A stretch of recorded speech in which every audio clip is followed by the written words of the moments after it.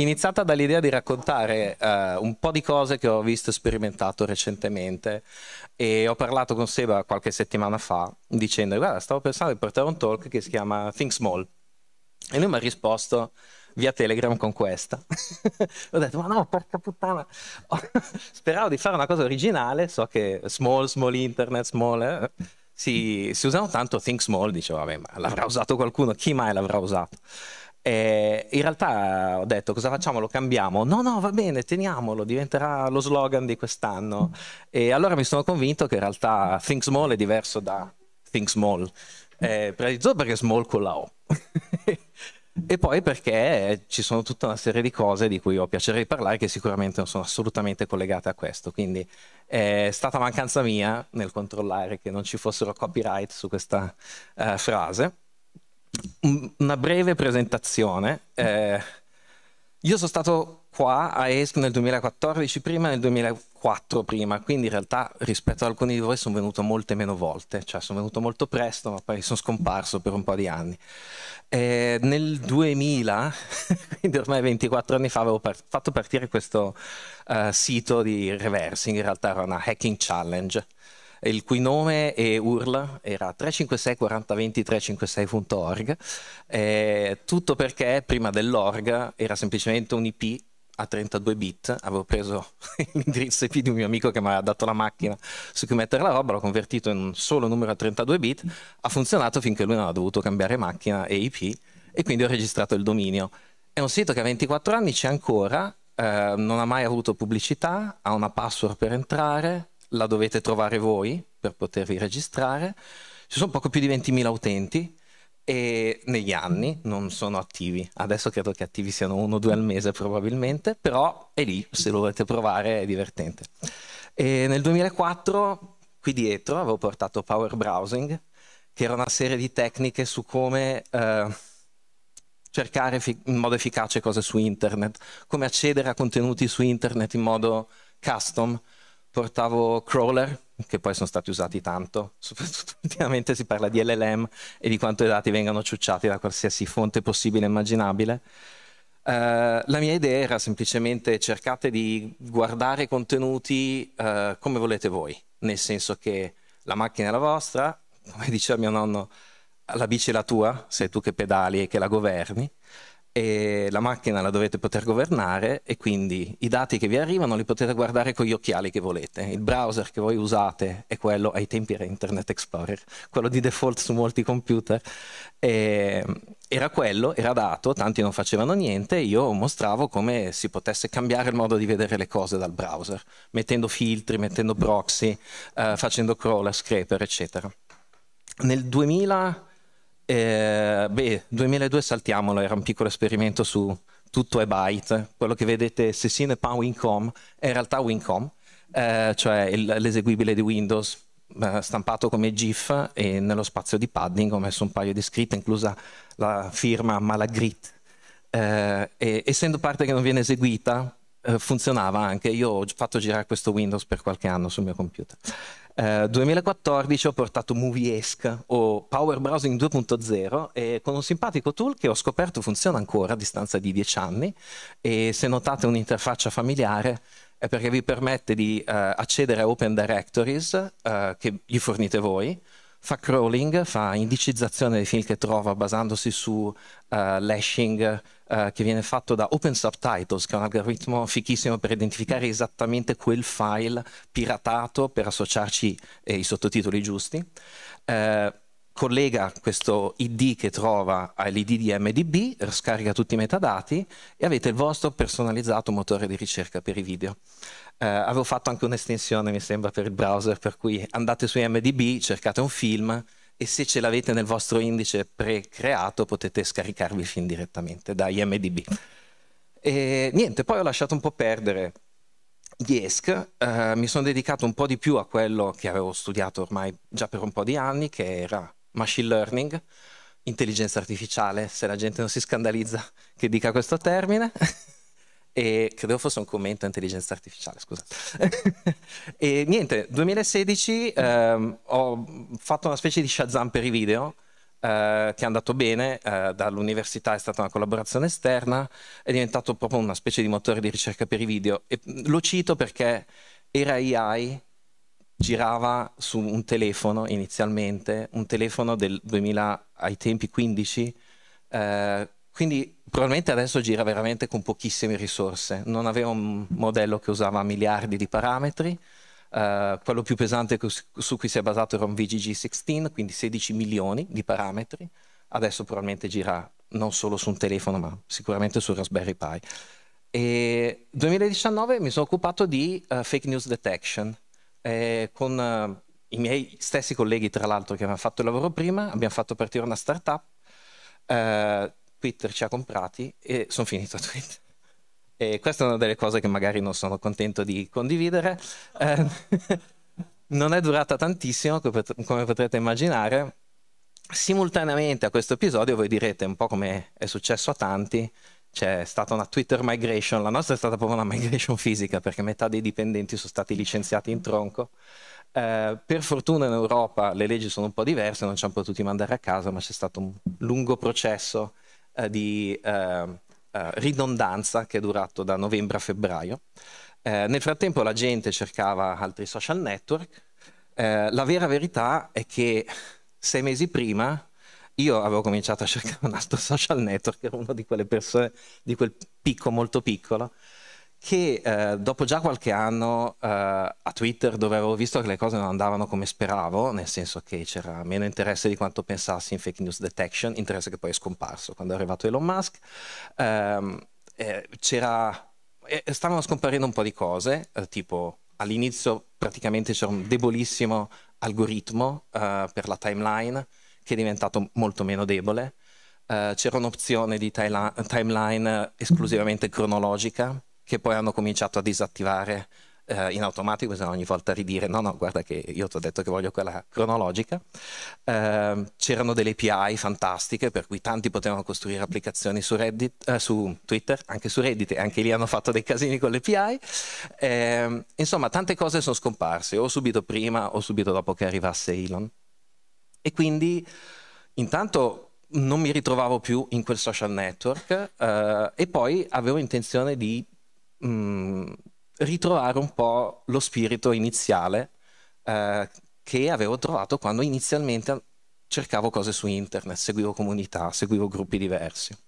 E come sapete, quando una porta si apre, eh, siete stati all'eschi in passato, molti di voi, eh, se ne apre un'altra, in un modo o nell'altro. Eh, quello che cercavo realmente era una comunità di pratica, mi è ritornato un po' questo eh, tema, che era una cosa che avevo studiato durante il mio dottorato di ricerca. E la definizione di Etienne e sua moglie eh, Beverly Wenger Trainer eh, era un una comunità di pratica, un gruppo di persone che condivide o una, um, una problematica, una passione per qualcosa che fanno e imparano a farla meglio interagendo regolarmente. Uh, questo regolarmente non ha una frequenza prefissata, si potrebbe anche dire che la comunità ESC è una comunità di pratica, tante comunità di cui ho fatto parte sono comunità di pratica. E non so voi, ma non ho trovato un social network in cui trovassi una, una comunità di pratica in cui uh, identificarmi, magari piccole sottoparti, ma mai niente di, uh, che fosse completamente soddisfacente. Anzi, più passava il tempo e più mi sembrava di essere dentro uno di quegli everything nothing siti dove si vede tutto e niente, uh, un sacco di informazioni diverse, ma niente che veramente fosse coesivo per me. Poi magari avevo personalizzato male i miei feed o quant'altro, ma non avevo neanche tanto tempo di, o tanta voglia di spenderci uh, altro tempo. Ecco, uh, partendo da queste considerazioni ho deciso, va bene, piglio, comincio a frequentare altre cose. Che cosa? Uh, sono partito dal Fediverso e ho trovato altre comunità che si occupavano di vecchi protocolli. Eh, ho cominciato a informarmi di più mh, mm, quali fossero i valori di queste comunità. Uh, ho cominciato a fare alcuni progetti e ho cercato di dividere più o meno il talk di oggi in tre pillar, diciamo. Uno è le tecnologie di small internet che forse tanti conoscono già, non lo so. Uno è un, un progetto mio personale che si chiama Pico Goffer, E un'altra parte, visto che tutti quest'anno ne parlano, AI, Small AI, che riguarda un po' anche il mio lavoro attuale, lo dico subito anche quello, giusto perché non sembra, sembri che faccia pubblicità eh, eh, nascosta. Eh, adesso lavoro per Mozilla AI.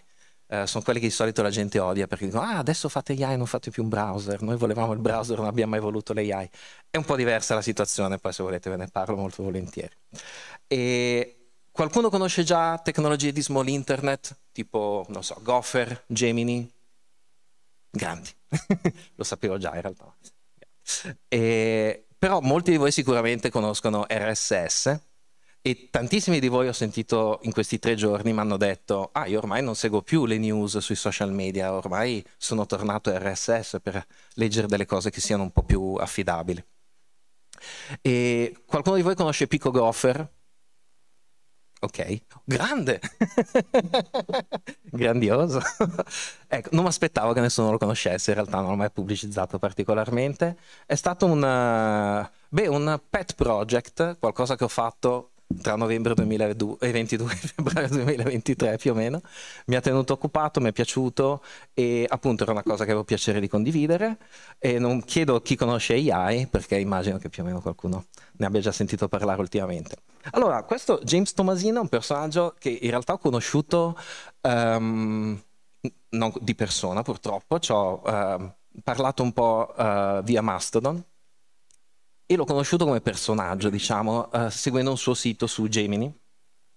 E ha fatto un talk che a me è piaciuto tantissimo a May Contain Hackers l'anno scorso a luglio.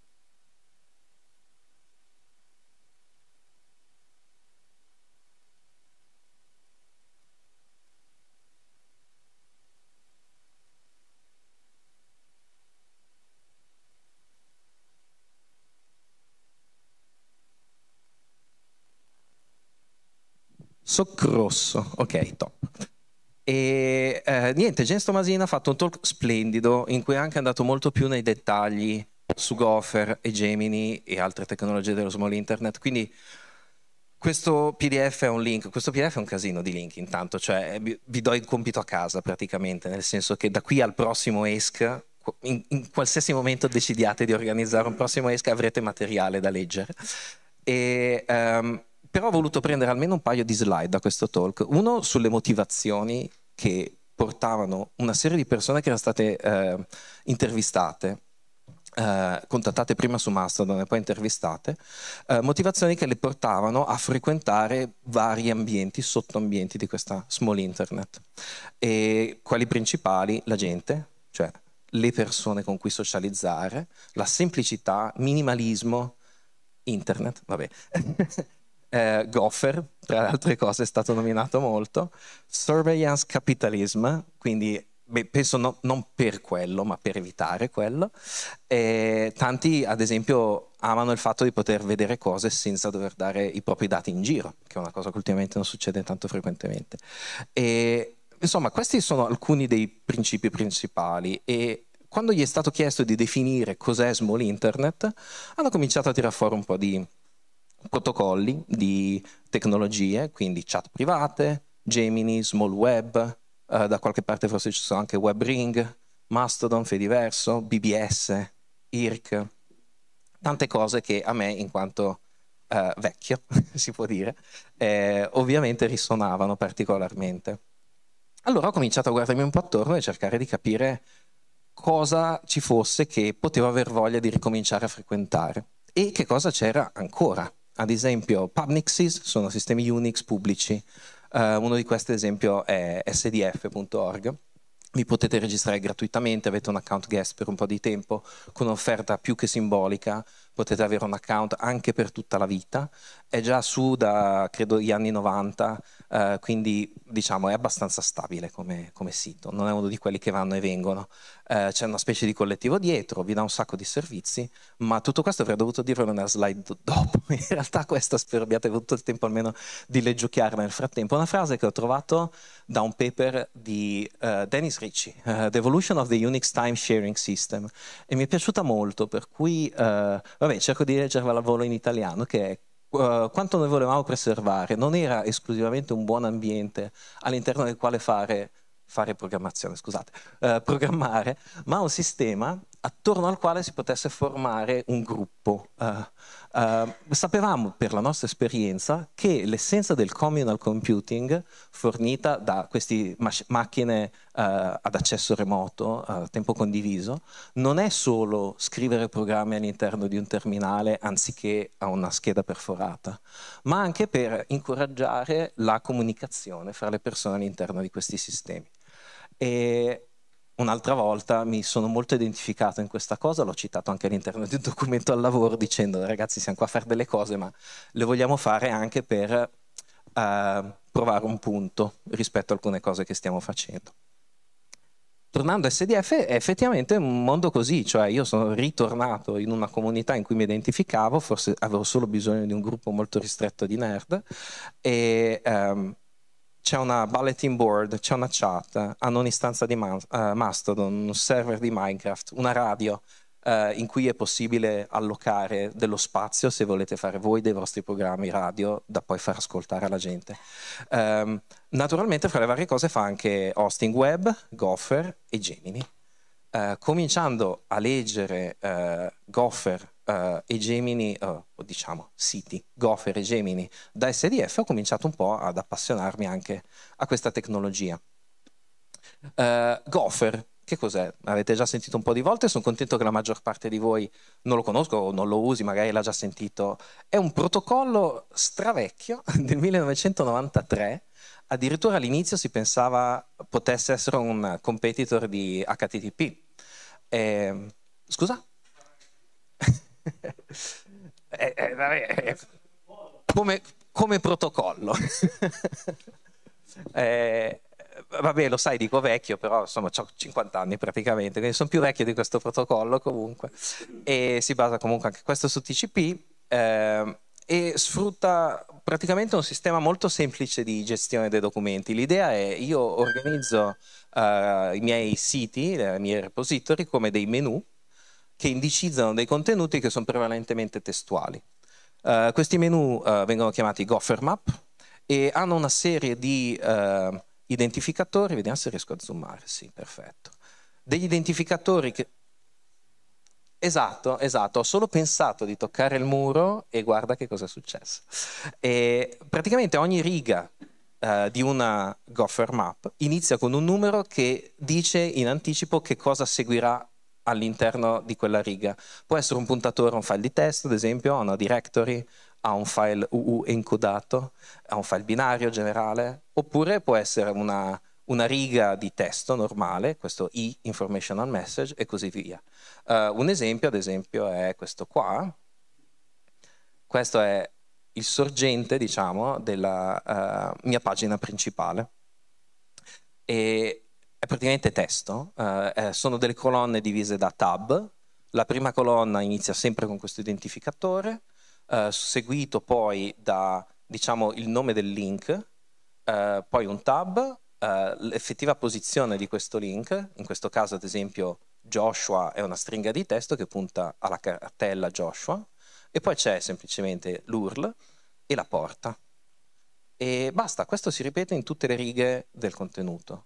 Uh, come si può vedere questa cosa? Uh, ci sono diversi client, uno di questi uh, si chiama Bombadillo o Bombadiglio, eh, avevo preparato anche un bella cinema per farvelo vedere al volo, in realtà ce l'ho sul computer, però almeno così non devo digitare con una mano sola.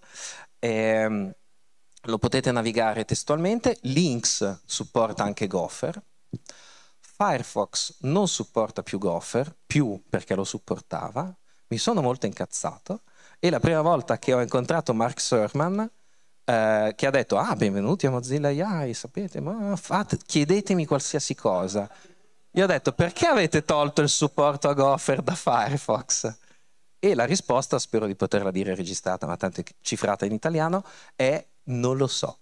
Eh, in realtà probabilmente era semplicemente un discorso di allocazione di risorse su un protocollo che la gente non usava più, ci può stare, per fortuna esistono dei progetti small, uno dei quali si chiama, dovrei avercelo aperto qua, Lagrange, che è un browser fichissimo e vediamo se riesco, uh, 3, 5, 6, certo il font è un po' piccolo perché di solito non lavoro a questa risoluzione, uh, però se tutto va bene sono collegato alla wifi giusta. Ah no, sono collegato alla wifi di una cosa di cui volevo parlare dopo, uh, adesso mi collego alla mia. Adesso però dovresti funzionare, ok. E questo è il mio sito Gopher. Uh, se aggiungete uno 0 alla fine dell'URL, vedete il sorgente, che è quello che vi ho mostrato prima. Altrimenti ve lo navigate così. Ci sono dei file di testo. Il primo qua è Joshua, che è una citazione, se qualcuno ricorda la password Joshua. Eh, esatto, bravissimo. E ho anche un piccolo cameo. Siccome è tutto testo, vediamo, Ok, qua, era qua forse. Sì, siccome è tutto testo e siccome è un protocollo super semplice, io posso usare semplicemente netcat, ad esempio, collegarmi, dirgli voglio slash, la pagina principale, e lui mi dà la pagina principale. Posso collegarmi, aiuto, collegarmi, dire voglio slash Joshua, e ho esattamente il file di testo Joshua che io avevo scritto e che avete visto nel browser di là. È tutto testo, quindi io posso fare anche una cosa tipo questa, che è scrivi Joshua, mandalo a netcat e poi pipa tutto quanto a eSpeak. Adesso alzo un po' il volume e vediamo.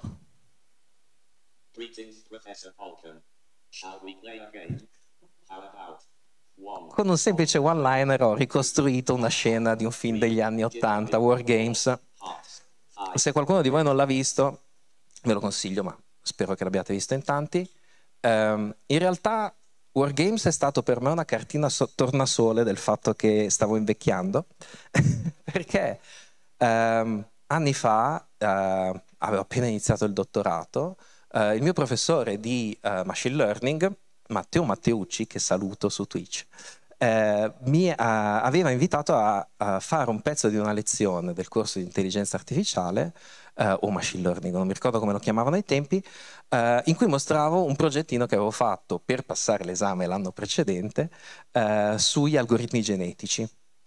E una cosa che avevo fatto era stata prendere un programma oddio non mi ricordo qual era, da craccare eh, e eh, indovinavo il seriale usando un algoritmo genetico. In realtà era un'applicazione un po' strana perché in teoria se non c'è effettivamente una relazione fra parti della stringa che tu produci o della password che tu produci, non c'è modo di evolverti con un algoritmo genetico per arrivare alla destinazione giusta.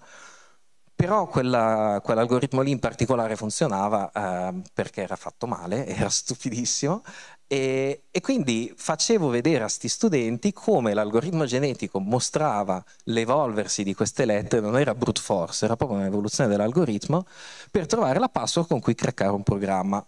Ero stato autorizzato a spiegare questa cosa in università, erano altri tempi.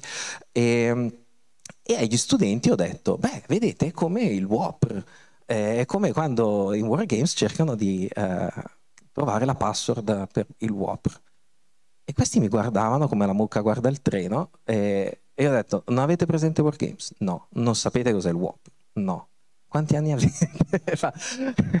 È un film del 1984 e allora, eh, no, noi siamo nati dopo e quindi a quel punto lì mi sono reso conto che va bene. Eh, Guarda, non lo so. e what does it look like? Uh, che aspetto ha? Uh, questa è un'immagine che ho fatto recentemente. C'è stata una delle cose carine che ho visto su uh, Mastodon, era questa All Computer Challenge, in cui per una settimana ti, tu ti proponi di usare vecchie tecnologie. io purtroppo tanta roba vecchia ce l'ho a casa in Italia, adesso vivo a Londra, e eh, ero tornato, ho fatto una settimana via, l'ultima notte prima di prendere l'aereo ero a casa, nella mia casa dove c'era il mio vecchio hardware, ho recuperato il mio vecchio laptop del 2003-2002 e incredibilmente funzionava ancora anche se lo schermo, come potete vedere qui, era orrendamente rovinato. Gli ho messo dentro una Knoppix Live CD, non so se ve la ricordate alcuni di voi, eh, e sono riuscito a farlo andare sul vecchio Mozilla che supportava ancora Gopher ai tempi, questa la faccio vedere a Mark Serman la prossima volta che lo vedo, e, e, e sono riuscito a vedere Gopher con links, uh, a vedere la versione HTTP di un sito che poi si chiama Pico Gopher poi ve lo spiegherò, uh, col browser normale, e vedere Gopher anche con Mozilla. In più avete editor di te- eh, browser testuale, avete eh, Lagrange, che è fantastico, e eh, perché andare a vedere siti Gopher? Eh, c'è gente che ci scrive, succedono cose. Allora, la cosa interessante è che dal 2018 eh, eh Gopher, il Gopher Space è cresciuto. Cioè, prima c'erano uh, meno di 150 server, uh, nel 2020 si era saliti a quasi 400 server, mi piacerebbe poter dire che è stato merito del Covid, ma in realtà questa statistica è stata presa a gennaio 2020, quindi questo invece è stato dopo il Covid. E adesso il numero è leggermente più basso del 2022, probabilmente c'è stato un burst ai tempi. Eh, adesso ci sono 312 server unici, quindi è abbastanza vicino alla, ai dati del 2022 e 5 milioni di pagine differenti, che comunque non è male, cioè c'è un po' di roba da vedere. Eh, Gopher ha un po' di limiti, vabbè è un protocollo del 93, ma non solo per quello, è anche perché è un protocollo che non è mai stato progettato per non essere un po' cambiato, un po' espanso, quindi ci sono un sacco di varianti non ufficiali anche di come viene utilizzato. C'è gente che usa le Gopher Map come se fossero delle pagine HTML praticamente, quindi ogni volta che vuole creare una pagina nuova crea una Gopher Map ci inserisce un sacco di link e quant'altro, fa un ipertesto vero e proprio, eh, però snatura un po' diciamo, il senso di questa cosa, eh, rendendo un po' più difficile fruire di questo Gopher in modo esclusivamente testuale, cioè condividendo esclusivamente file di testo. Eh, altre cose sono che eh, è un protocollo che fa girare tutto in chiaro, anche HTTP negli anni si è spostato, forse nel mio sito è l'unico che è ancora HTTP e non HTTPS, perché l'ho un po' frizzato e quindi non ci sono più stato dietro, però è molto difficile adesso trovare un sito web che non usi mh, cifratura. Um, altre cose, la gente non si è mai messa d'accordo su uh, quante colonne scrivere il testo e voi direte, ma si è discusso parecchio tempo fa 78 colonne, che, che, domande. E poi però sono, si sono allargati gli schermi, uno dice però perché devo vederla solo a 78 colonne? Poi sono arrivati eh, i telefonini, ad esempio la Grange funziona anche su iPhone o su Android. E tu dici, ma io voglio vedere su, sul telefonino un testo che è stato impaginato a 78 colonne, come faccio adesso? E eh, sembrano delle cagate, eh, però eh, in realtà c'è gente che ci ha pensato seriamente e ha creato un nuovo protocollo. Nel 2019, Gemini, non è ancora ufficiale, nel senso non è ancora stato mandato alla, agli ETF, però eh, è un protocollo, ci hanno lavorato, hanno messo TLS, fanno soft wrapping by default, quindi eh, c'è la capa automatica, non c'è bisogno di pensare esplicitamente a quante colonne bisogna usare. Eh, il MIME type è specificato nell'header delle, eh, dei documenti che sono mandati, quindi supporta tante altre cose, immagini in linea, ha un formato tipo Markdown per il testo, quindi c'è un minimo di organizzazione delle pagine e ha una specifica filosofica, cioè che prende una posizione da subito dicendo vogliamo evitare che venga esteso per poter fare altre cose. Non vogliamo permettere a nessuno di metterci dei JavaScript o l'equivalente di un JavaScript o altre. Deve essere frizzato in modo da focalizzarsi solo sui contenuti. E eh, in quanto a dimensioni un po' più piccolo, ci sono 3900 server, cioè i server sono di più, ma le pagine sono un po' di meno. Forse, non lo so, è solo una mia ipotesi, perché essendo più nuovo come protocollo ci sono più documenti e cose nuove che la gente produce e non dei grandi dump di vecchie repository di testi che invece si trovano ancora molto facilmente su Gopher. Um, c'erano altre cose prima di permacomputing? No. Ok. Um, permacomputing cosa c'entra? Un cazzo, non è un protocollo, prima di tutto. Um, allora, è un approccio tipo quello della permaculture, uh, però applicato al computing. Cioè l'idea è ci sono una serie di principi a cui possiamo ispirarci che riguardano il computing e che un po' si ispirano alla permaculture per creare software insieme in un modo uh, sostenibile, in un modo uh, condiviso, in un modo aperto e così via. Uh, c'è un documento molto bello che è quello linkato in questa slide, non ve lo farò vedere adesso, ma eh, ci sono tutta una serie di principi, ne citerò alcuni solo perché sono quelli appunto che risuonano maggiormente con me, però eh, è bello da leggere, quindi altro compito a casa per voi. Uh, Care for Life and for the Chips, in generale, quando scrivete un software nuovo, pensate alle persone che lo useranno, non sono utenti, sono persone. Uh, I chip uh, si possono riusare, non c'è bisogno di buttarli appena non funzionano più. cioè, non funzionano più, appena il software non ci gira più perché è troppo potente, si, ci si potrebbe investire un po' di più sul software in modo che si riesca a usarlo per più tempo.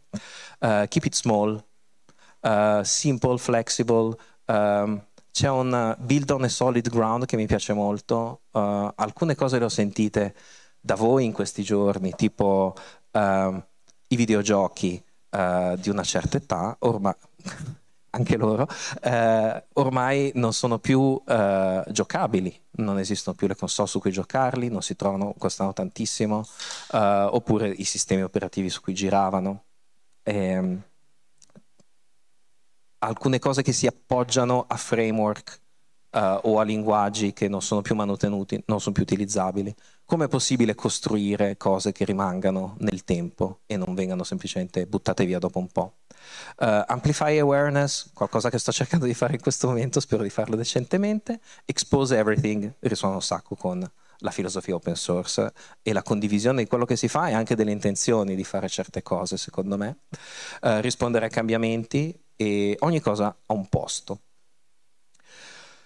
Fra allora, prima di tutto, perché sono finito qua? Perché andando a vedere eh, queste piccole comunità, questi piccoli vlog, eh, che sono i blog su Gopher, o le capsule Gemini, eh, ho trovato veramente un sacco di comunità molto più affini alle cose che a me interessavano e sarà anche questa una bolla in un certo senso, ma almeno una bolla che mi sono certo, eh, scelto io e una bolla che magari comunque conteneva cose che non conoscevo precedentemente, che è anche il motivo per cui mi preme condividere con qualcuno perché penso magari potrebbero interessare anche a voi.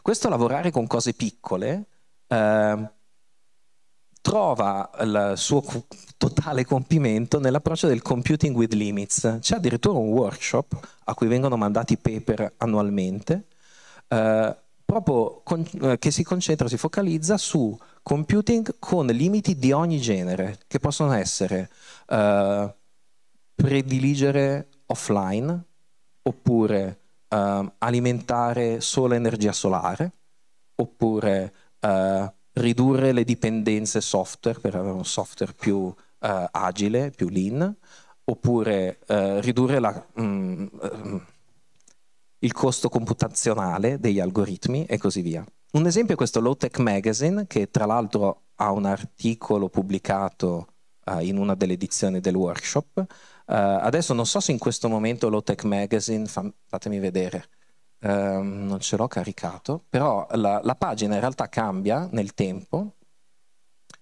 perché, oh sì, bellissimo, lo vedete che è metà bianca e metà gialla? Allora, il giallo vi sta dicendo la quantità di batteria che il server di questo sito, che è alimentato energia solare, ha in questo momento.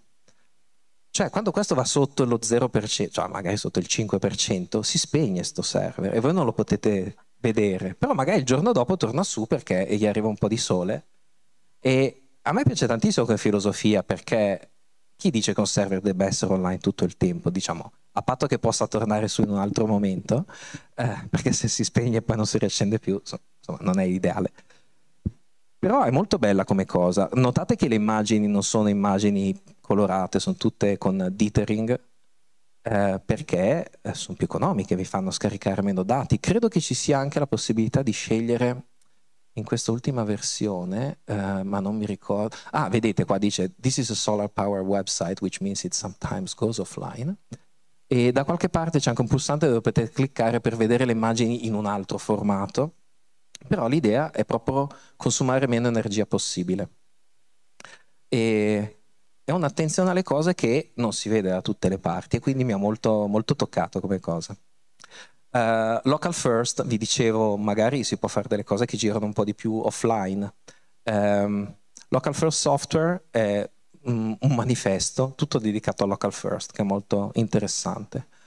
Two è un progetto, questo yesterday, che avevo fatto quando ero all'università, non so, ah, dovrei avercelo aperto qua da qualche parte, fatemi vedere. Credo di avere un... qui.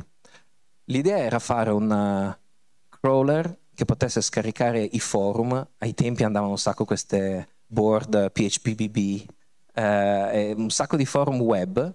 E la mia idea era ma io non posso scaricarli tutti quanti, vabbè poi vedete un po' quelli che mi interessavano ai tempi, eh, non posso scaricarli tutti, cacciare tutti i dati in un DB, fare una ricerca unica per tutti anche se arrivano da siti diversi, eh, mostrarli con un'interfaccia essenziale che posso visitare anche con links se mi serve.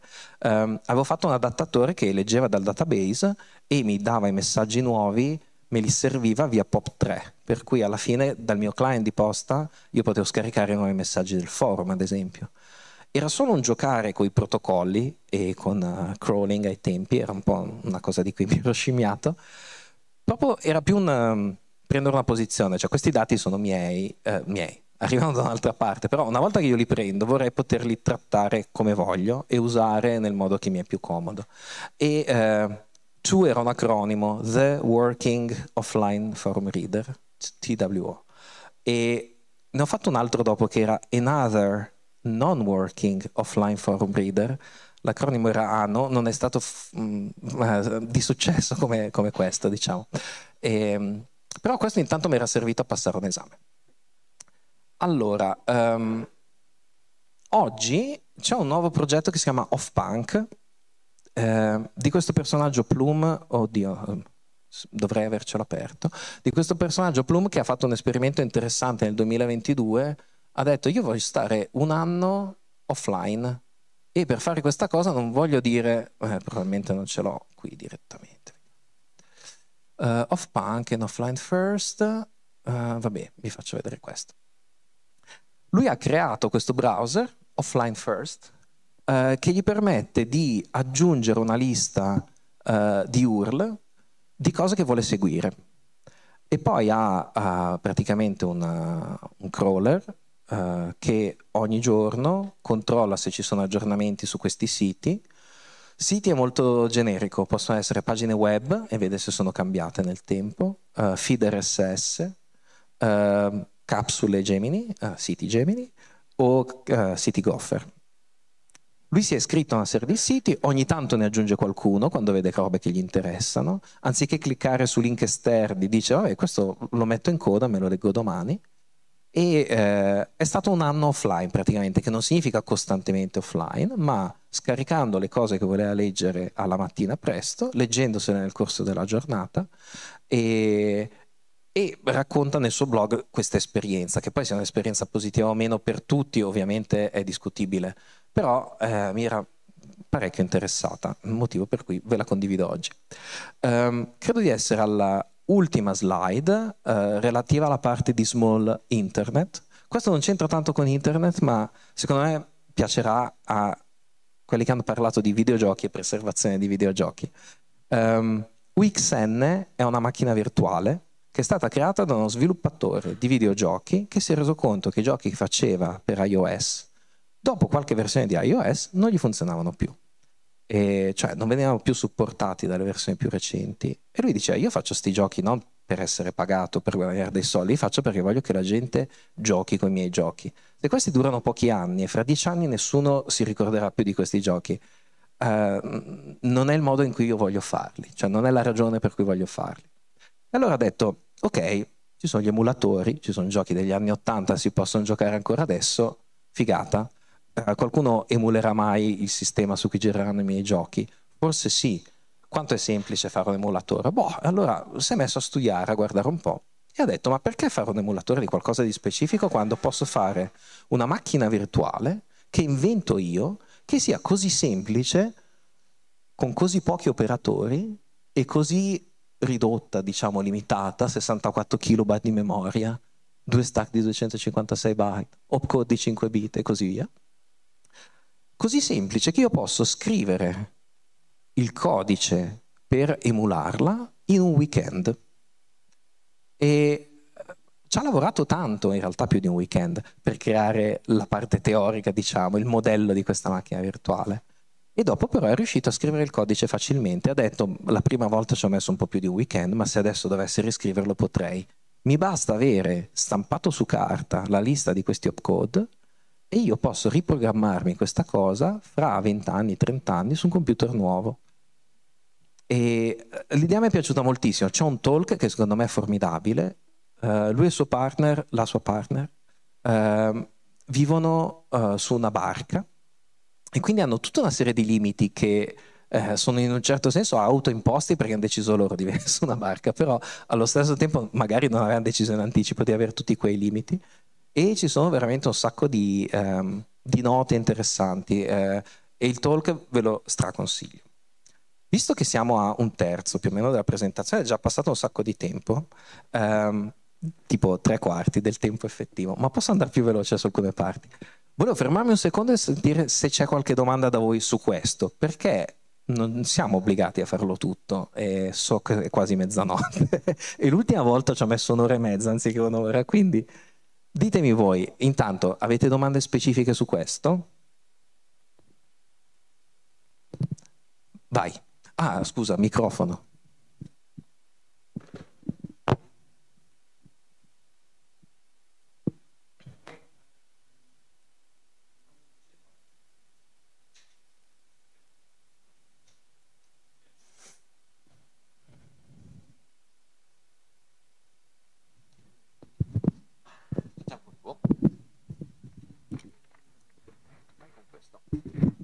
No, la mia domanda mi sembra di, di, cioè, a parte il fatto che mi piace un sacco il concept, uh, ma eh, c'è stato un po' un ritorno, un legame a sta roba anche con tutta la faccenda dell'off-grid, un po' anche durante il Covid, ma in generale c'è questa idea dell'off-grid, side networks, perché per esempio c'è un po' di progetti che sono usciti come, che ne so, database, knowledge base offline che ti porti dietro in case of apocalypse, però in generale, cioè reti più, off, diciamo, reti offline, side networks rispetto alla internet, qualcuno si è anche inventato adesso queste robe tra LoRa e Meshtastic, altri protocolli che sono usciti tipo ARED, questa idea di fare delle reti, anche negli Stati Uniti per esempio ci sono dei gruppi che hanno messo queste reti dove scambiano dati in modo da, ok, nel caso andasse giù internet possiamo comunque comunicare, eccetera. C'è una connessione? C'è, un c'è una di... connessione, sì, cioè in realtà ti sei già risposto, nel senso sì, c'è stato un sacco di, uh, di movimento su queste cose e, ed è molto interessante. Ad esempio, uh, una cosa che mi ha interessato un sacco è quest'altro protocollo si chiama Scuttlebutt, uh, che è, è, stato progettato per, con l'idea di social network distribuiti eh, che potessero lavorare con un ibrido offline-online e la possibilità di sincronizzare dati da varie fonti, da vari hub, eh, anche senza essere necessariamente collegati tutto il tempo. Eh, credo che sia stato frizzato come progetto a favore di Nostr, Uh, e lo sviluppatore mi sembra che sia lo stesso. Ci sono delle presentazioni molto interessanti fatte, fatte, da lui. E un altro protocollo che sto seguendo molto è no, non sto seguendo molto, sto seguendo con molto interesse, ma lo sto seguendo poco per motivi di tempo, è NNCP, eh, che è proprio offline first come idea, cioè l'idea è che tu ti potresti eh, recuperare dei dati anche da un pendrive ogni tanto e su quello si possono creare altre applicazioni e c'è un progetto interessante, eh, credo di averlo beccato su Gemini, um, l'avevo lasciato aperto qua tra l'altro, che è questa offline BBS che tra l'altro usa le stesse tecnologie di BBS che usavamo ai tempi delle BBS, tipo Blue Wave, i pacchetti in formato Blue Wave, esatto, e usa esattamente quelle cose per fare adesso una BBS che si basa su questo protocollo. Devo assolutamente provarla, ci sono le istruzioni online per farlo, c'è anche eh, in generale su NNCP, ma queste sono proprio le cosa devi fare per configurare NNCP per scambiarti i pacchetti con questo qui che un signore che ha fatto una BBS eh, come negli anni 90 con le stesse tecnologie. Eh, lo devo provare assolutamente. Um, altre cose su dati offline e come condividerli è molto collegato alla prossima parte, tra l'altro, quindi eh, sì. Come follow up, perché un altro dei topic che a me personalmente sta iniziando a interessare sempre di più e che sento anche altra gente che ne parla è il problema del what if a un certo punto le grosse piattaforme decidono che non sì. hanno più hosting o che non, non, gli conviene più mantenere la piattaforma, tutti i dati che... E ci sono casi di vecchi forum che erano un po' delle mm. staple mm. dell'internet che sono stati chiusi e qualcuno adesso ci sono quelli che fanno data hoarding che si fanno i mirror, eh, sì. parlano tra di loro e dicono hai la copia di questo. Però, cioè, le cose in un certo senso mi sembrano collegate. Sono molto collegate, sì. Io sono tantissimo a favore della preservazione, sono strapentito di non aver fatto mirror di tutti quei forum di cui avevo fatto parte del mirror ai tempi. E ho... quando ho fatto quella cosa della Knoppix, quindi un paio di mesi fa, ho ripescato la mia pila di, di vecchi CD e DVD e c'è della roba che ho detto, cazzo, io questa roba la devo mettere su internet, cioè devo condividerla da qualche parte perché tanta magari è documentazione o materiale di robe degli anni 90 che non serviranno a nessuno, ma tanta è roba che, che era valida ai tempi e sarà valida sempre e adesso non si trova su internet. Quindi sì, cioè tutto quello che è archive.org o ad, anche approcci personali al preservare informazioni, secondo me ha un valore inestimabile. E non perché dall'oggi al domani potrebbero scomparire tutti quanti, ma perché nel corso degli anni ci stiamo desensibilizzando a questa cosa, affidandoci a servizi che ci danno queste cose disponibili tutti i giorni. Uh, io sto facendo fatica a spiegare a mio figlio che non ha bisogno di Spotify per sentire della musica. Poi vabbè, sono padre degenere, ma perché non ti scarichi l'MP3 di questa cosa? Però, cioè, glielo dico un po' diverso, però gli dico, scusa, ma se spengono Spotify tu poi non hai più musica, per, perché dobbiamo affidarci a dei servizi quando io ancora, insieme a quelle pile di CD, dei CD di MP3, ma non avevo bisogno di 700 CD di MP3 me ne bastava uno o due con le robe che mi piacevano di più, che poi è quello che senti su Spotify. Sono d'accordo sul uh, scoprire cose nuove, per carità, ho scoperto cose nuove belle su Spotify. Però le mie playlist su Spotify, che sono quelle che sento così spesso, potrei benissimo avercele, ma ci stanno anche sul mio telefono dirette e me le sentirei con VLC senza bisogno di essere collegato tutto il tempo. Tanto più che se poi ti scarichi le robe su un dispositivo e su un altro, tipo i video su Netflix, più di due dispositivi non puoi ti chiedono di pagare di più e dici sto già pagando il servizio, vorrei poterlo usare offline, ho un volo più tardi, non posso perché, che so, la mia compagna si è scaricata qualcos'altro allo stesso tempo. E altri casi, vecchi film anni 80. Uh, eh, ci siamo trasferiti in Inghilterra, abbiamo scoperto che ci sono dei film formidabili che non conoscevamo perché vivevamo in Italia, dei cult, uh, film di culto, cult, fi- uh, cult, movies, e li cerchi su qualsiasi piattaforma, non li trovi. Oppure li trovi in vendita, un film degli anni 80 a 20 euro in streaming. Quindi, eh, diciamo, nel caso in cui lo si sia in vendita, uno può anche spendere questi 20 euro, non promuovo la pirateria. Eh, però altrimenti ben venga che ci sia su torrent, perché se no non c'è modo di vederlo più quel film degli anni 80. Questa è una mia posizione personale. Poi, mm? sei d'accordo? Grazie. ok, um, sì, Ehm, a proposito di Gemini, ehm, a proposito anche di un, di, di un, problema che arriva con un sacco di dati, c'è un modo per uh, ricercare? C'è un motore di ricerca, un inventory? Una... Sì, ci sono motori di ricerca. Uh, per Gopher c'è Veronica e per Gemini non mi ricordo come si chiama, ma mi sembra ci sia un motore di ricerca anche lì. Um, ed è disponibile su Gemini? Eh, sì, via Gemini? Eh, è disponibile su Gemini. No, purtroppo, allora c'è anche questo fatto che Lagrange è un client Gemini e Gopher allo stesso tempo. Io avevo iniziato tantissimo a scimmiarmi di Gopher, poi ho scoperto anche Gemini un po' grazie a Lagrange e adesso non so più che siti sto guardando. E, eh, al 99% c'è, adesso non vorrei dirti una cazzata, però mi, sembra, mi sembrerebbe incredibile. Ci sono, intanto um, c'è la possibilità di far girare diciamo, uh, eh, CGI o codice dinamico sia su Gopher che su Gemini. Uh, ah, una cosa che non vi ho fatto vedere di Gopher, ad esempio, è questa. E Gopher Bay e in realtà uh, non è su Gopher, nel senso che eh, utilizza semplicemente l'API di Pirate Bay, che è carino perché quella c'è, nel senso siti vari li ammazzano uno dopo l'altro, però l'API più o meno è sempre raggiungibile. E questo è un software che è condiviso, tra l'altro, um, dovrei aver aperto il tab, da questo utente Parazzi, non so se lo conoscete, io non lo conosco di persona, ma è uno che ha lavorato tipo a Dine, Devuan, è un personaggio. questo è il suo README MD.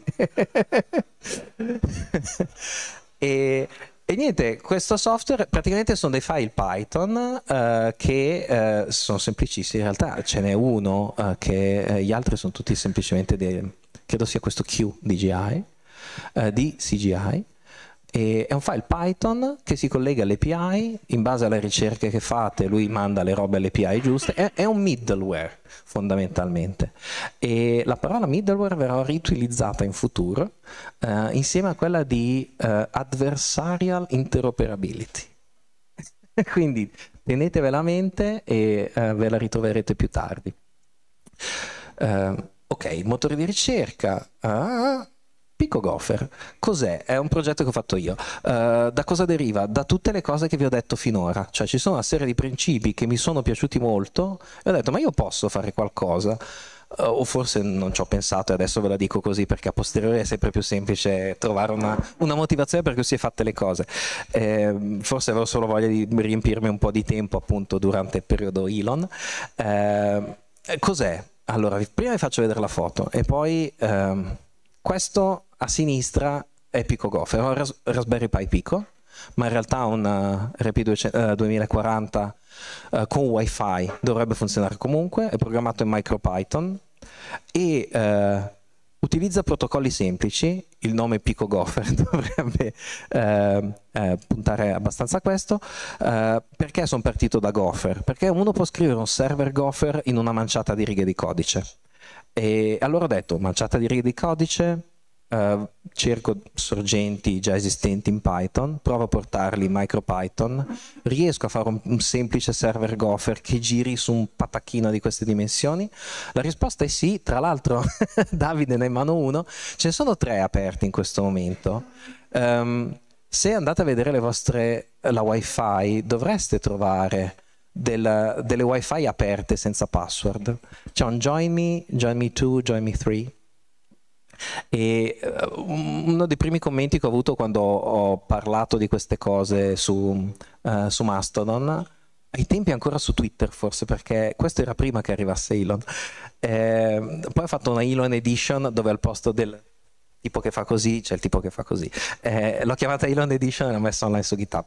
Eh, allora, quando vi collegate a questa wifi, questi sono degli access point. Siete nella wifi del Pico Gopher, cioè di uno di quegli aggeggini lì. Uh, se vi collegate all'indirizzo IP 192.168.4.1, uh, quello è l'indirizzo del server. Vi potete collegare con un browser normale perché ho messo anche un server HTTP molto semplice che in realtà prende le mie pagine Gopher, le converte in HTTP, tanto sono file di testo, eh, e, eh, e, ve le mostra da browser. Se avete già incredibilmente installato la Grange o sul vostro telefono o sul portatile, potete collegarvi via Gopher. Um, c'è un limite che Raspberry Pi Pico uh, riesce a indirizzare al massimo 4 uh, device che si collegano al proprio, uh, al proprio access point. Quindi in realtà non so come funzionerà se lo fate tutti contemporaneamente, potrebbe essere un bel esperimento. Qual è la cosa carina di questo aggeggio? Uh, a parte che è facile, appunto, è l'equivalente del progetto di un weekend. L'ho spezzato in un po' di task e ho fatto una serie di post, ovviamente su Gopher, uh, che dovrebbero essere qua, in questa sezione Pico Gopher, dovrei anche poterlo zoomare, ma non mi ricordo come si fa. Um, questi sono i post, dall'introduzione in cui dico voglia di fare questi passi e poi pian piano ho cominciato a marcarli. Non so quanti di voi usano Gira, questo ha funzionato molto meglio di Gira, eh, per decidere i task da fare nei passi successivi. E tra le varie cose è low power, usa veramente poco, uh, poca corrente, uh, al punto che di, quelle, uh, di, quei tre dispositivi uno è alimentato da tre batterie AAA e è quello più economico perché basta avere una piccola enclosure che costa un euro, tipo per queste tre batterie attacchi direttamente ai due pin di alimentazione del Pico e va. Altre due versioni hanno uh, un adattatore per poter collegare una batteria di quelle lipo ricaricabili. Um, ho fatto degli esperimenti anche con dei pannelli solari, tipo questi, e con risultati contrastanti, nel senso è una figata, si ricarica la batteria, intanto come potete notare non è che sia proprio un asso dell'elettronica, eh, credo sia stato il, mio, il, progetto più complicato che ho fatto in vita mia, che è tutto dire. E, ehm, però eh, è stato carino perché ho controllato appunto l'utilizzo, ho cercato di imparare un po' di più come funzionasse e ho visto che ad esempio se vivessi in Sicilia funzionerebbe perché per tutto l'anno riuscirei esattamente a generare la quantità che mi interessa e avrei anche qualcosina in più di energia che, che non riesco a sfruttare. Però purtroppo vivendo a Londra la maggior parte del tempo sono sotto soglia, soprattutto nei mesi invernali ehm, e quindi nel mio caso specifico non ho potuto avere un server Gopher alimentato a solare per tutto l'anno eh, che girava su Raspberry Pi. C'è anche una modalità per cui questo server lo potete far girare nella vostra rete, cioè può veramente collegarsi, prendere un IP dalla vostra rete. Io ho, ho inventato, cioè inventato, ho escogitato l'idea dell'access point perché mi piaceva l'idea che la gente potesse avere eh, con sé un proprio sito, diciamo, un, uno strumento per comunicare qualcosa ad altri e che questi altri eh, si trovassero questi access point in giro per il mondo e potessero dire ah vediamo cosa c'è qua sopra. Anziché collegarsi su un sito o avere appunto una timeline che tu suggerisce contenuti semplicemente guardare nell'etere che cosa c'è a disposizione e provare a, a scaricarselo. Ovviamente appunto con tutti i problemi del caso uh, nessuno di voi dovrebbe collegarsi a delle wifi senza password questo mi era stato suggerito appunto, perché non è buona pratica. Uh, è offline first perché appunto non avete bisogno di essere collegati a internet per questa cosa. Um, ho pensato a diverse applicazioni, in realtà the sky is the limit, la vostra fantasia è il limite. Uh, alcune a cui ho pensato sono, a me piaceva un sacco l'idea di fare uh, Riddle, il sito 356 40 20 356 era di Riddle se io prendessi uno di questi cosi alimentato a solare e fosse per sempre in un posto nel mondo, potrei mandare gente a recuperare dati e informazioni da lì, fare una specie di caccia al tesoro dislocata in vari posti. Uh, oppure si potrebbero abilitare queste due modalità Uh, access point e mi collego a una rete esistente per avere dei patacchini con cui la gente va in giro e si sincronizza informazioni da una persona all'altra. Quindi la tua social network è la social network delle persone che uh, frequenti, che vedi in giro o che magari incroci uh, e ti puoi scaricare dei dati che poi vedi offline la sera in un altro momento. Insomma, vari modi di utilizzo, varie cose che si possono fare mi faccia piacere condividerlo. È in giro da un po', avrei dovuto condividerlo probabilmente meglio prima, però ho pensato che ci voleva anche il luogo giusto e la gente giusta per, per parlarne. Uh, prima di parlare di small AI, come vedete la parte small è con un punto di domanda, uh, domande su Pico Gopher specifiche e soprattutto ditemi se devo fermarmi perché so che l'ora è tarda o e se vi state addormentando e che vi coinvolga di più, ma adesso ci saranno anche domande da parte mia, quindi.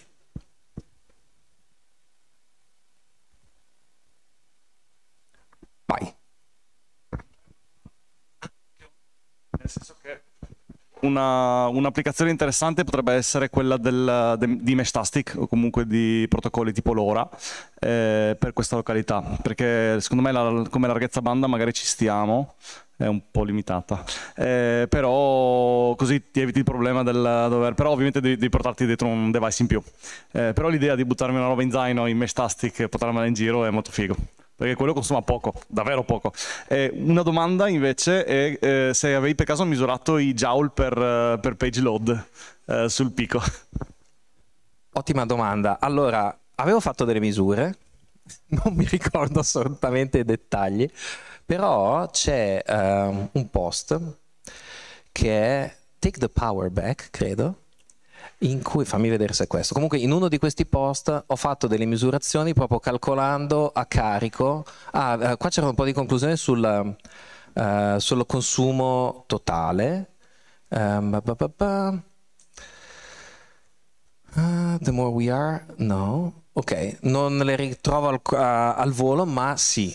Cioè, ho, ho, ho, calcolato, ho preso il server, l'ho bombato di richieste apposta, ho cercato di guardare il consumo di picco e l'ho completamente rimosso dalla mia memoria dopo averlo scritto qua dentro.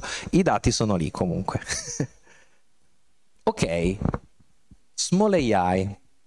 Di AI si è parlato già abbastanza. Um, la parte small è abbastanza controversa. Questo è il link a una pagina che mostra uh, la, le aziende che si occupano di AI nel 2024, cioè quelle che sono state elencate, poi sicuramente ce ne sono altre. Eh, come potete vedere il panorama non è decisamente small.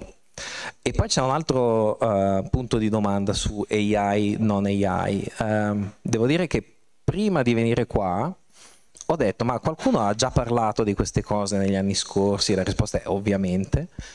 Davide, ad esempio, ha fatto uh, Local AI l'anno scorso e mi sono premurato di guardare il suo talk prima. Prima di tutto perché non volevo fare una copia di qualcosa che era già stato presentato e poi perché mi interessava genuinamente. E, e, vedendo questo talk ho visto alla fine il commento su AI, non si dovrebbe chiamare AI queste cose, eccetera. E, um, vi dirò la mia posizione su questo. Io ho iniziato a studiare intelligenza artificiale in un corso che si chiamava intelligenza artificiale. Questo perché, e lo diceva il mio professore, docente del corso Marco Somalvico, l'intelligenza artificiale è quella scienza che si occupa di studiare sistemi hardware e software, le cui performance all'occhio dell'uomo comune, voi immaginate quante volte me l'ha detta per sapere la memoria, sono paragonabili a quelle umane. Allora, è, è molto eh, vincolata come definizione, nel senso che ogni termine è stato messo lì veramente con intenzione, eh, all'occhio dell'uomo comune, dici. Eh, certo, perché cioè, se tu l'hai programmata, ho eh, programmato questo sistema, non questa intelligenza artificiale, perché l'intelligenza artificiale è la scienza, non il sistema. Insomma, eh, a me piaceva come definizione, la materia continua a chiamarla AI, il, il campo di ricerca eh, lo chiamo AI o machine learning se vedo che è più specifico su tecnologie del machine learning che sono alcune delle tecnologie che fanno parte di AI come una sottobranca e ehm, i modelli che fanno certe cose io li chiamo modelli, gli algoritmi li chiamo algoritmi.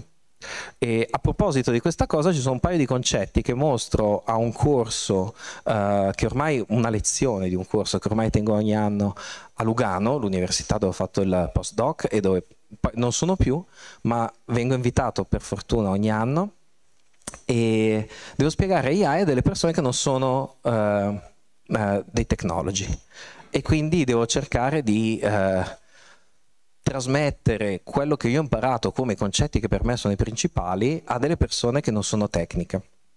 E i primi due concetti che uso sono esattamente questi due qua. Il primo è quello del mechanical turk e si richiama un po' a una cosa che diceva il mio professore, che la macchina è un luogo dentro a cui l'uomo fa delle cose e non c'è niente di più uh, letterale che il Mechanical Turk. Cioè il Mechanical Turk era questo uh, automa meccanico dall'aspetto di un turco uh, che giocava a scacchi.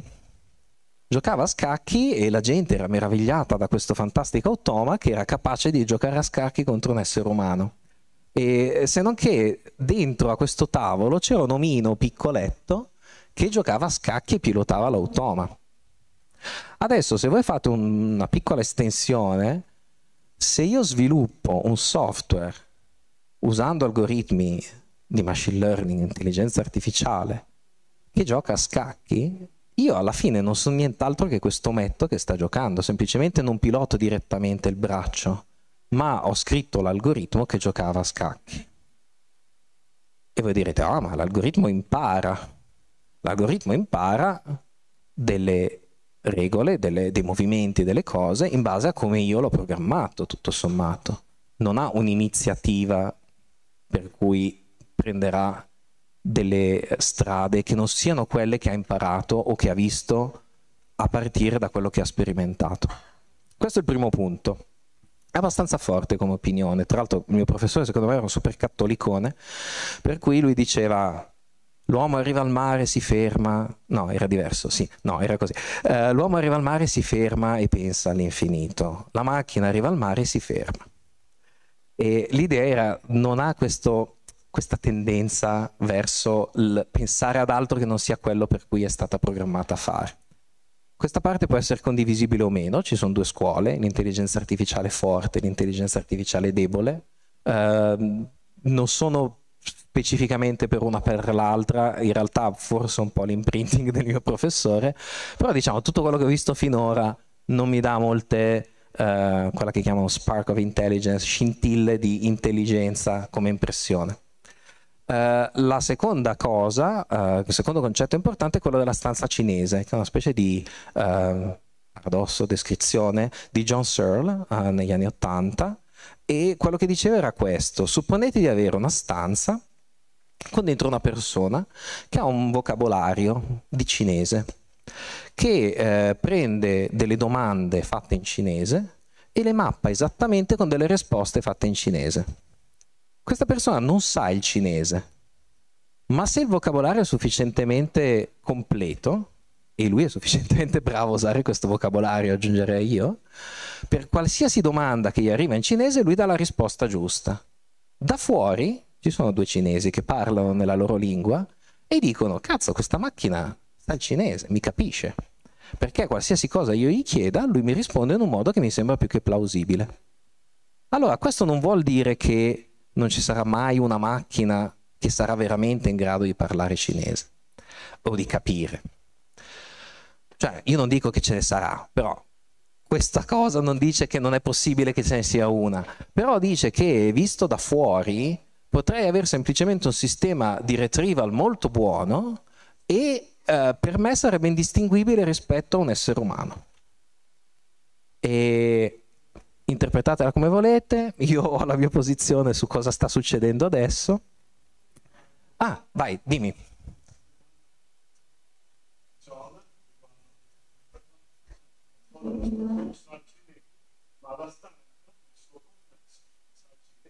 Certo, il modo in cui la stanza è stata approntata è, eh, eh, diciamo, eh, dà la convinzione che il cinese sia saputo. Esatto, esatto, esatto. E questo significa anche un'altra cosa, che è una conclusione a cui tanti uh, scienziati nel campo dell'intelligenza artificiale sono arrivati, che è a me non me frega niente se questa macchina pensa oppure no. Intanto che ha le performance di un essere umano e io ho bisogno delle performance di un essere umano per risolvere il mio lavoro, mi va bene. Eh, va bene, però chi decide se questa macchina ha le performance di un essere umano o no? Potrebbe essere la persona che ha fatto una valutazione più o meno rigorosa delle capacità di questa macchina, potrebbe essere un product manager o potrebbe essere un marchettaro che sta cercando di vendere il prodotto a qualcuno, giusto? Quindi è comunque una... Uh, e, e, non sto dicendo chi è stato in questo caso particolare dell'LLM in generale, perché eh, non voglio intenzionalmente prendere una posizione specifica su questa cosa, ma sto dicendo che ancora una volta in realtà la responsabilità è molto più in mano alle persone, agli esseri umani che alla macchina programmata e alle scelte che loro fanno di come vengono usate queste cose.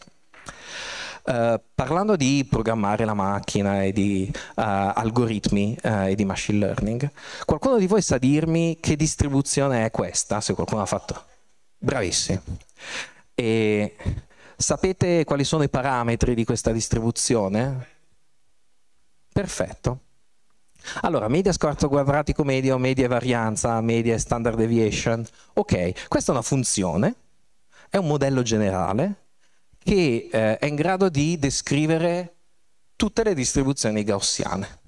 Se gli date la media giusta e la varianza giusta, questa fitta uh, i dati che voi effettivamente avete.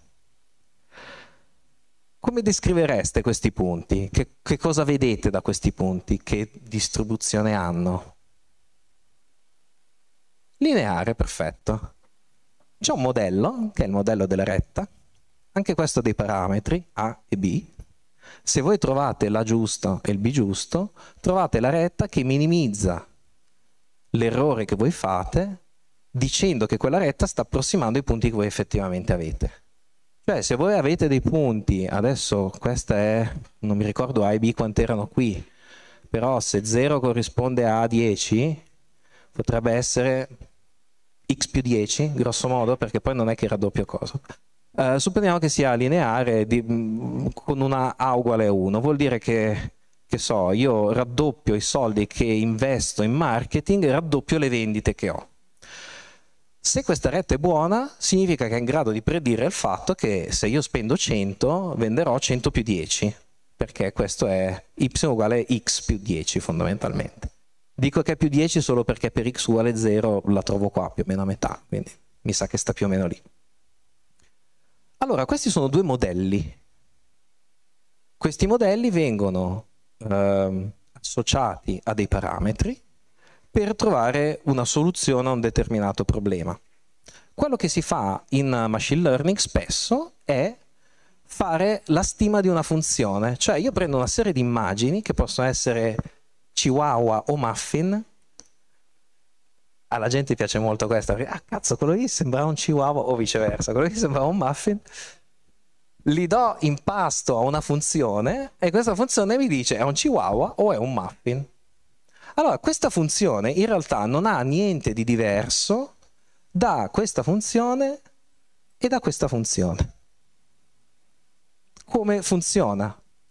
Adesso non uso Chihuahua e Muffin perché è un po' più complicato. Immagini in bianco e nero, digit recognition, quindi identifichiamo le cifre, sono da 0 a 9. Quello che io prendo è, qual è la radice di 784? Non lo so. Comunque, questi pixel per questi pixel mi danno 784 pixel.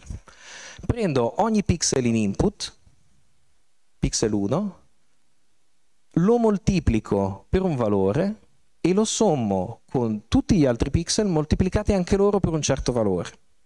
E lo metto dentro questo pallino, che è il pallino corrispondente allo 0, alla digit 0.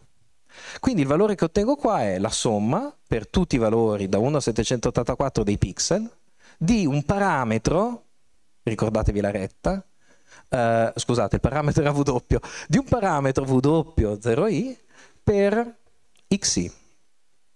Praticamente dice quanto quel pixel contribuisce a dire che quella cifra è 0, quanto quel pixel contribuisce a dire che quella cifra è 1 e così via. Quando voi mettete assieme tutte queste cose, alla fine otterrete, questo l'avrete probabilmente sentito tanto quando si parla di eh, neural network, intelligenza artificiale, modelli di linguaggio, eccetera, ottenete delle grosse matrici che voi moltiplicate. Avete dati in input, matrice, dati in output. Um, quello che salta fuori è che imparate dei pesi que- questo è uno dei casi più semplici, si usa proprio per insegnare queste cose, ma imparate dei pesi che sono quelli che vedete qua a destra, che vi dicono quanto quei pixel in particolare contribuiscono a permettervi di dire che l'immagine in input sia una delle cifre successive. Quindi ad esempio se io ho tanti pixel verticali in centro, molto probabilmente ho un 1.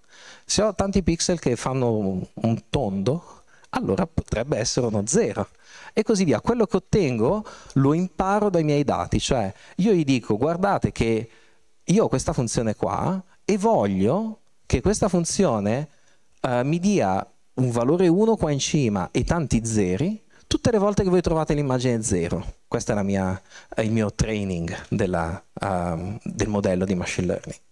Quando gli passo le immagini con 1 gli dico guarda il primo deve essere 0, devo avere un 1 qua e devo avere altri 0 addestrando la rete neurale o imparo questi pesi. Questi sono pesi imparati dopo un effettivo addestramento per un, non mi ricordo quante iterazioni della rete e che mi aiutano a discriminare cose. Poi ci sono casi particolari interessanti dove tipo il 4 e il 9 sono un po' strani, potrebbero confondersi perché il 4 lo chiudi sopra e sembra un 9, eh, o il 5 e il 6 e così via. Uh, ok, adesso passiamo un attimo al linguaggio che è un po' diverso, però uh, il, il, vero punto è, e, qua era una, una, cosa che ho fatto per... Uh, per vendetta, ho provato un modello che era un modello di Twitter che stava su Hugging Face eh, dicendo prova a completare questa frase Elon Musk is a e la predizione con i vari livelli di probabilità, immaginatela rispetto alle digit recognition, era a fraud, a pussy, a racist, a terrorist, a menace. Non ce n'era neanche uno buono.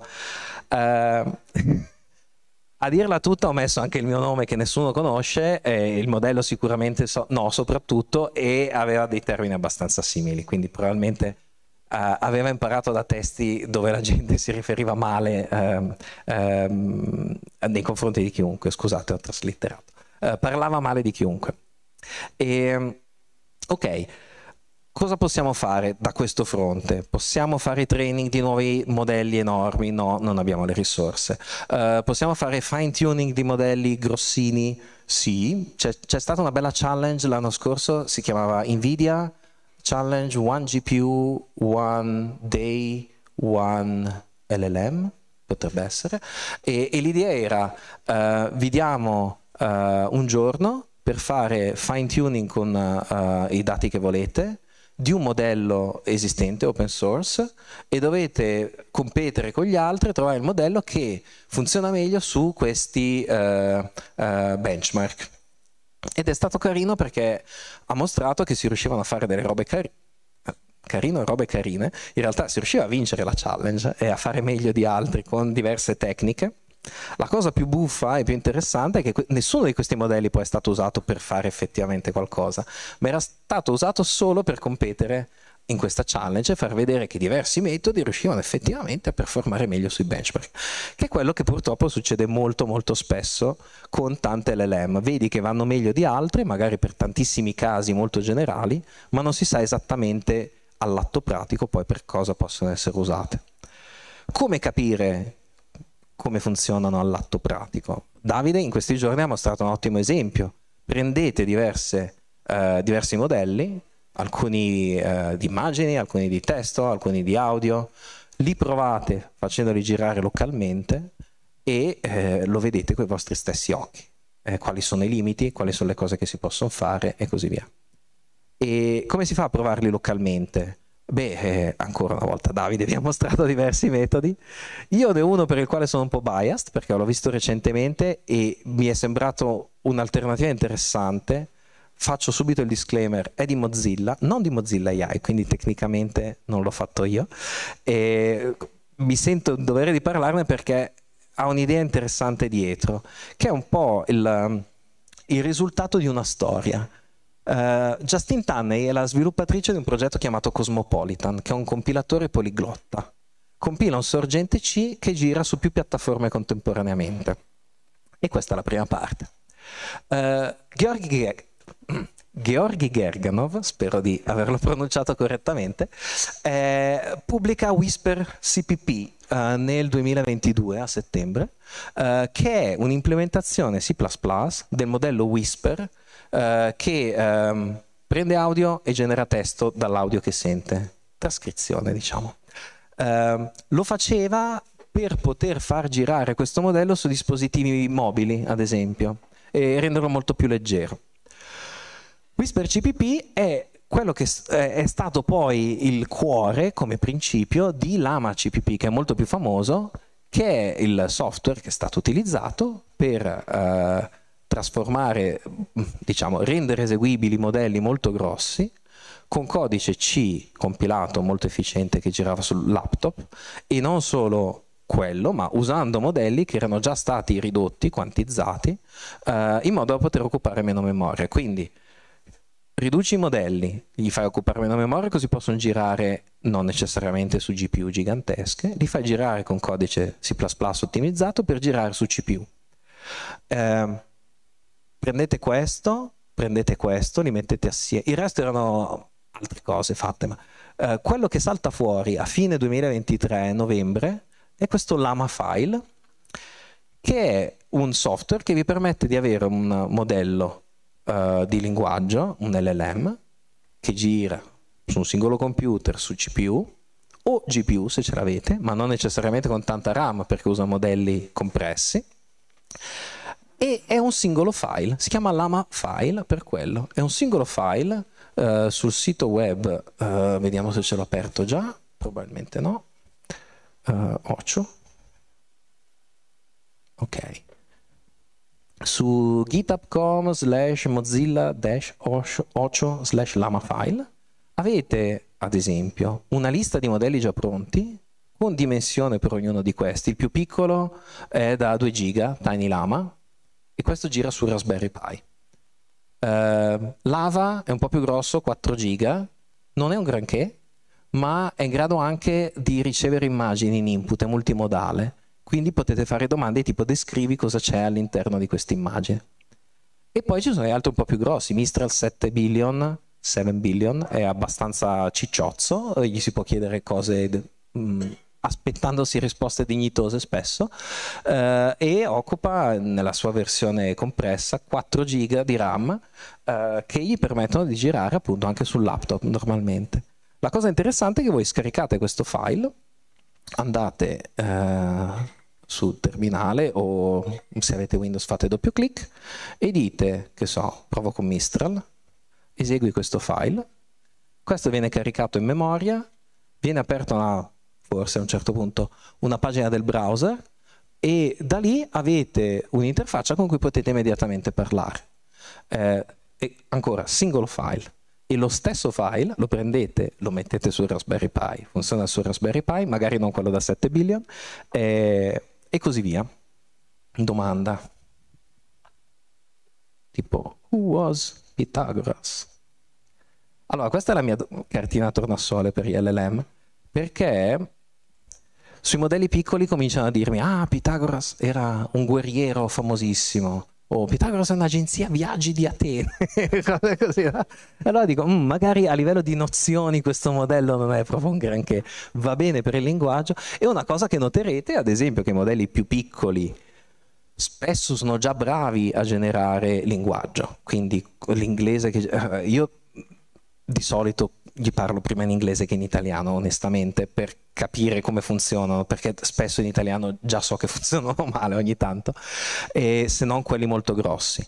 Con quelli piccoli riuscite ad avere delle risposte in inglese sensate, però eh, dicono cazzate, perché il modello così piccolo impara magari a generare frasi ragionevoli, ma ha meno nozioni, ha meno spazio per memorizzare effettivamente cose. E modelli più grossi tendono a memorizzare di più, ma nulla esclude che eh, non memorizzino esattamente tutto quello che vi serve.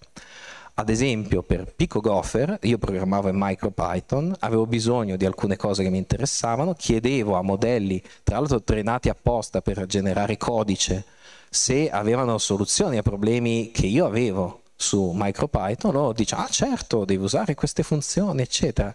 Io le cercavo nella eh, reference di MicroPython e non c'erano perché il modello non è stato trenato con abbastanza dati su MicroPython.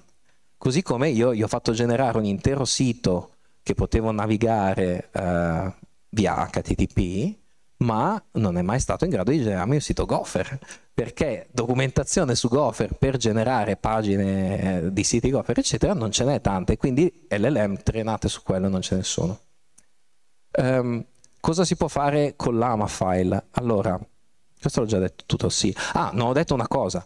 Justin adesso sta investendo un sacco di tempo e risorse per, quasi da sola, eh, ottimizzare codice specificamente per CPU. E mentre all'inizio tutte le cose che faceva le mandava su Lama CPP, adesso ci sono alcune cose che divergono, quindi non sono sicuro che tutti update arrivino sull'AMA CPP, però ha deciso di uh, spingere le cose così tanto fino ad ottenere velocizzazioni di alcune parti del codice, non della performance complessiva, da 30 a 500 volte più veloce. Uno, mm, anche qui è uno sforzo, è una, mm, è, è una cosa small da un certo punto di vista, perché magari non ci sono al momento tantissime persone che vogliono velocizzare questa cosa su CPU o su macchine piccole, perché tanti pensano basta avere una GPU, una macchina più grossa. Però mi sembra molto più democratico che dire ah, ho rilasciato open source questa LLM, avete bisogno di una scheda video da 5.000 euro per farla girare.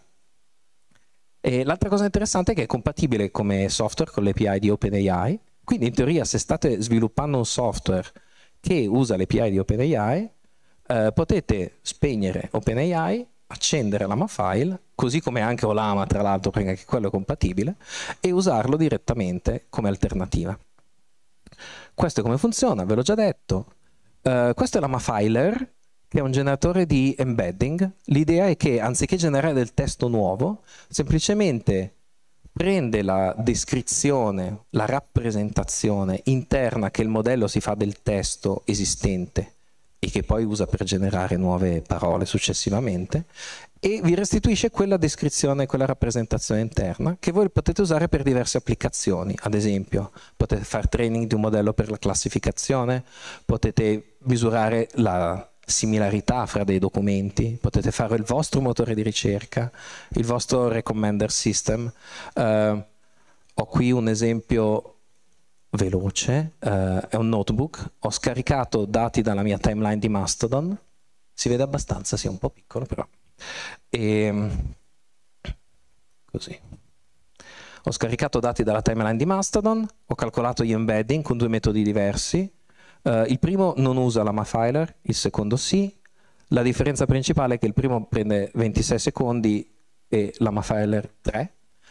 Uh, questo è un M3, è un Mac M3, quindi se avete un Raspberry Pi probabilmente volete usare la MAFiler al posto del, uh, dell'altro metodo perché sarà sicuramente molto più Uh, intensa la computazione. Uh, dopodiché potete fare delle query, ad esempio qua c'è un post Uh, e uh, io chiedo direttamente quali sono gli altri post della mia timeline che sono più simili a quello che io ho fornito. Ho preso un post a caso, numero 42, e è venuta fuori una cosa che sì è vagamente un messaggio probabilmente politico, Uh, perché parla di hypocrisy and delusion of our leaders e dopodiché gli altri messaggi parlano tutti più o meno di politica. Ho fatto un esempio come I'm a supporter of the Free Software Foundation e i messaggi più simili sono testimonial from a Free Software Foundation member, thank GNU, uh, Libre Planet, Linux Foundation, thank GNU, anche lì. E l'idea è che in Mastodon avete una timeline che non è algoritmica e potete cambiare il ranking dei vostri messaggi in locale col vostro modello senza chiedere a nessuno di generare un algoritmo per voi. Io ne ho fatto uno che si basa solo sul contenuto, però la mia parte di small AI è la parte dove l'utente ha il controllo delle cose che sta facendo e eh, questo è il tipo di cose che secondo me possono essere interessanti e che le nuove generazioni potrebbero eh, ereditare, prendere e cercare di portare avanti. Ci sono colossi che forniscono i propri algoritmi, ma c'è ancora la possibilità di far girare delle cose localmente e poter un po' personalizzare l'esperienza che si ha eh, di internet. Eh, ovviamente quando si ha uh, un martello tutto sembra un chiodo, come si dice, e uh, quando avete l'AI vi sembra che tutto possa essere risolto con l'AI, o peggio ancora quando avete large language model sembra che tutto si possa risolvere con large language model. In realtà ci sono tanti progetti piccoli che si possono fare, uh, qui ho alcuni esempi, uno è alt text generation locale, Uh, in Firefox stanno includendo questa cosa, è uscito un post tempo fa, in cui fanno vedere come uh, si può usare un modello locale, non LLM, che uh, rileva il contenuto di un'immagine fa una piccola descrizione che suggerisce di aggiungere come testo alternativo all'immagine quando la postate, ad esempio su un social network. E Clustering Your Ideas è un progetto un po' simile a quello che vi ho fatto vedere di Mastodon, cioè embedding per però dati salvati localmente all'interno di un note editing uh, tool, quindi avete il vostro sistema, qualsiasi esso sia per raccogliere note, i vostri pensieri, eccetera, potete fare clustering di quello e vedere come si raggruppano le vostre idee. Questo progetto che non esiste, ma gente che ha detto, ah, sarebbe interessante che chi non ha Uh, chi ha problemi di accessibilità e usa una barra braille per accedere al Fediverso possa avere eh, hashtag che siano scritte correttamente in camel case, cioè ogni parola all'interno di questa grossa hashtag inizi con una lettera maiuscola, così che i lettori di testo uh, possano sintetizzare testo splittando propriamente l'hashtag. È una stupidata, io non ci avevo assolutamente pensato, è ovviamente uno sforzo minimo per chi scrive l'hashtag, però si potrebbe anche fare un suggeritore di hashtag propriamente um, cased. ok? E eh, alla fine l'AI o il, il, campo di ricerca AI e i modelli di intelligenza artificiale eh, esistevano prima dell'LLM e si usavano e si facevano tante cose interessanti. E se vi interessa come eh, campo di sviluppo ovviamente si possono usare l'LM eccetera ma ci sono tante cose che si possono fare più piccole eh, non meno utili e, e secondo me è un, anche questa una direzione interessante da investigare So che è super tardi, quindi non vi faccio più vedere altri esempi. Ho un'ultima slide di conclusione. Sono più o meno alcuni dei pensieri principali che mi hanno colpito. Uh, contenuto soprattutto, eh, evitando tutto quello che non è essenziale. Comunità di pratica, cioè di gente che fa cose assieme a voi e che è interessata a cose simili protocolli, non piattaforme. Protocolli ne abbiamo parlato tanto e abbiamo visto come certe cose sopravvivono. Le piattaforme aprono e chiudono perché dipendono un po' dagli utenti che li usano. Un protocollo una volta che c'è ed è stato ratificato come standard, la gente lo può usare per decine e decine di anni, riprendere nel tempo, cambiare e così via.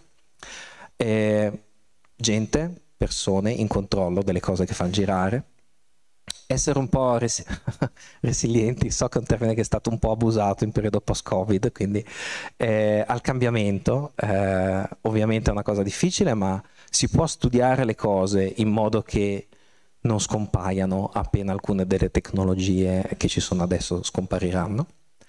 E chiudo con open e free. e direi che è finito tutto quanto, sì. Grazie mille.